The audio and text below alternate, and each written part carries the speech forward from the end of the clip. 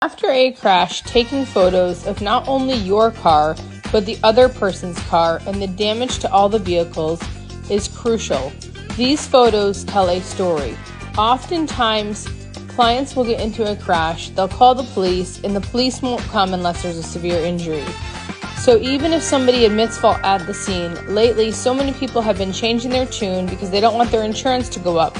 So then they tell their insurance company a different story.